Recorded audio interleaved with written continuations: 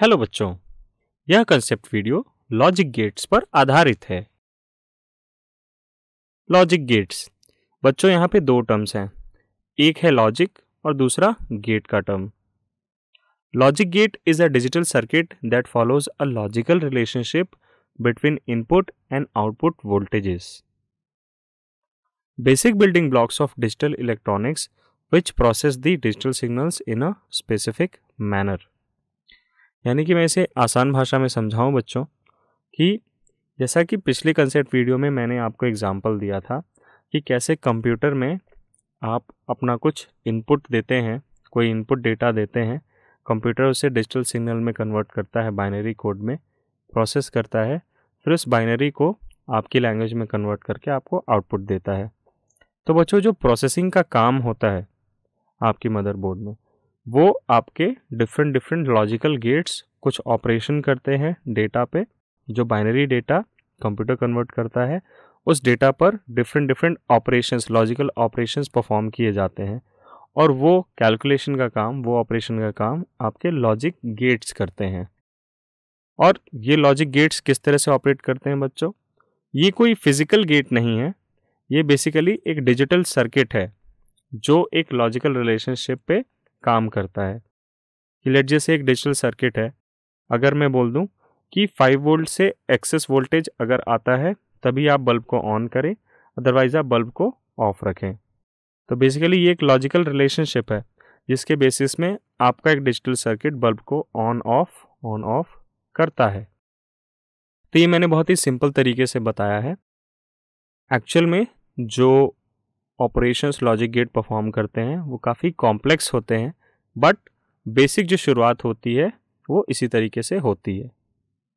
So it is use in calculators digital watches computers robots industrial control systems and in telecommunications five common logic gates used are not and और nand and nor gates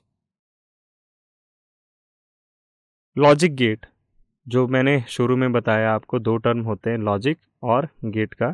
तो logic is a it's a relationship between input and output that follows a rule कुछ rule होता है input and output के बीच में, उसी rule को follow करते हैं, उसी को हम लॉजिक कहते हैं। और gate it controls the flow of information जैसे आपकी रियल लाइफ में गेट का काम क्या होता है? गेट का काम होता है सेफ्टी सिक्योरिटी और उन्हीं लोग को अंदर आने देना, उन्हीं लोग को बाहर जाने देना जिनको ज़रूरत है। तो कुछ उसी तरह का काम यहाँ पे गेट भी करता है। It controls the flow of information ये वही इंफॉर्मेशन को एंटर या एग्जिट करने देता है जिसकी हमें या जिसकी लॉजिक गेट को ज़रूरत है। Truth table truth table shows all the possible input logic level combinations with their respective output logic levels. Basically बच्चों, मैं आसान भाषा में आपको बताता हूँ। हम एक टेबल प्रिपेयर करते हैं, जिसमें एक सेक्शन होता है इनपुट का और दूसरा सेक्शन होता है आउटपुट का। या आप ऐसे समझ लें कि रोज़ में हम इनपुट डालते हैं और कॉलम्स में हम आउटपुट डाल दें।